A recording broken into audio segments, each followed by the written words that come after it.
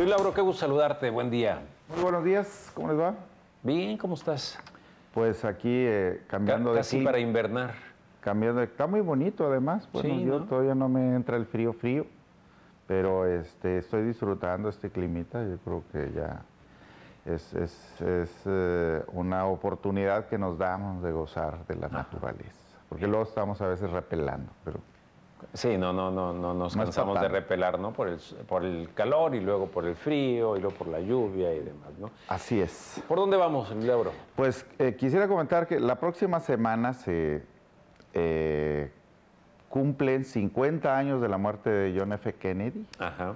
y como tal, pues aparte de la conmoción y lo que significa el acontecimiento, es eh, una más de las pruebas de la, a las que están sujetas las sociedades y eh, la, la vida misma, un accidente, aparentemente un accidente de la historia Ajá. es, eh, está rodeado de este halo de misterio porque pues como que las explicaciones eh, cuando come- se cometen magnicidios no, no, no, el amplio público no queda contento. A la comisión Warren no le creyó prácticamente nadie.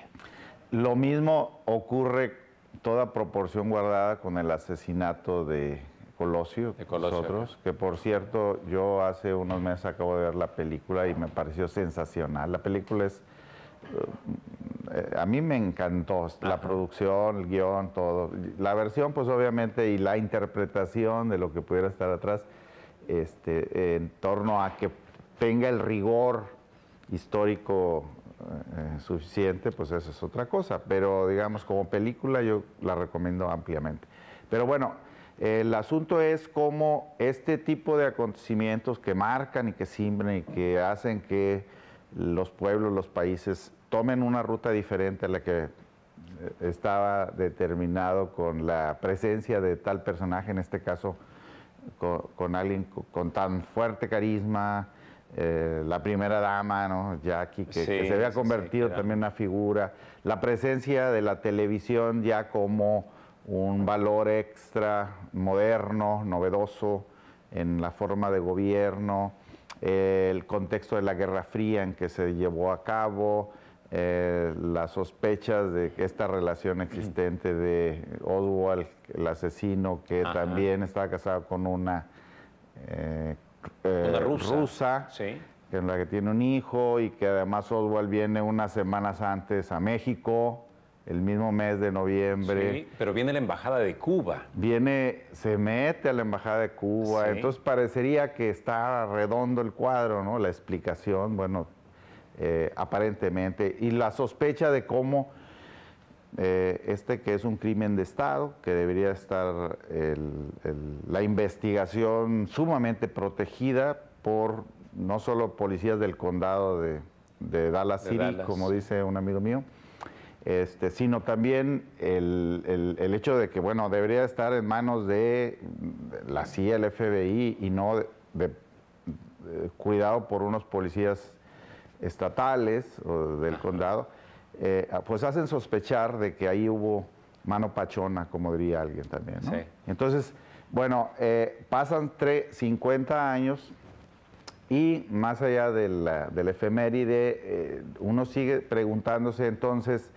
cómo el país más moderno del mundo, el país que es capaz, y todavía lo vemos una y otra vez, de espiar a los demás y de tener todas las herramientas desde el punto de vista tecnológico para llevar a cabo las pesquisas eh, que sean necesarias, Sí. no ha terminado de dar una explicación que termine de quedar como la verdad, pues ya no digamos absoluta, pero en la que todo mundo pueda estar satisfecho. Pero como decía, es difícil, esta es una prueba más de que tú puedes tener, por un lado, los mecanismos más sofisticados para saber qué está ocurriendo con tal o cual asunto y al mismo tiempo no saber convencer a la mayoría de la población de que así ocurrieron las cosas. Ajá.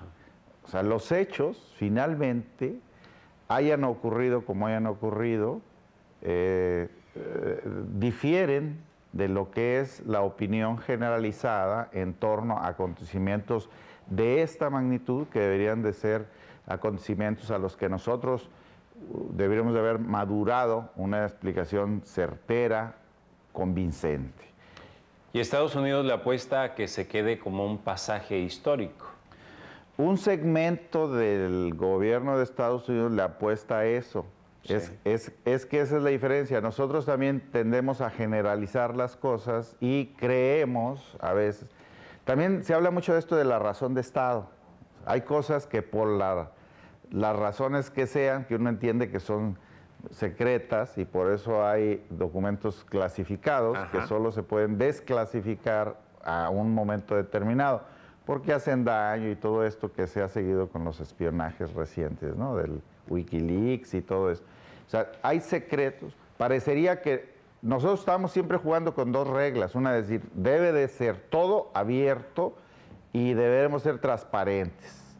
Pero por otro, debemos de mantener ciertas cosas secretas y reservarnos ciertas cosas que nosotros no debemos decir.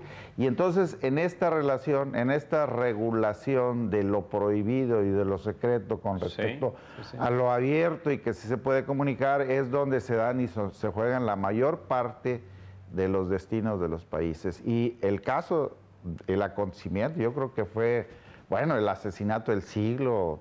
Es el este, cisma, ¿no? Político. Y, bueno, de él yo creo que en estos días vamos a recibir muchas lecciones, va a haber muchos homenajes, va a haber muchos recuerdos.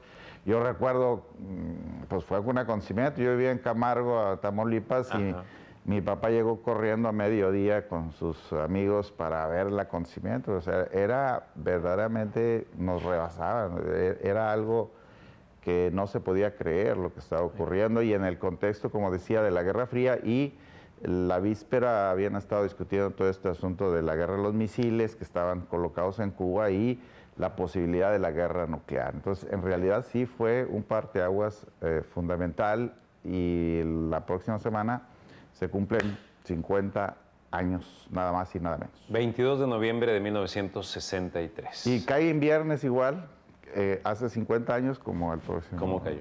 Bien, gracias. Muchas gracias por tu participación, Luis Lauro. Gracias, gracias. a ustedes.